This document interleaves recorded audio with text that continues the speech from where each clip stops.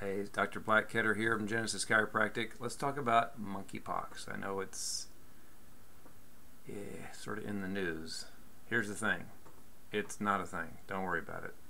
People are not dying from monkeypox. Monkeys aren't even dying from monkeypox.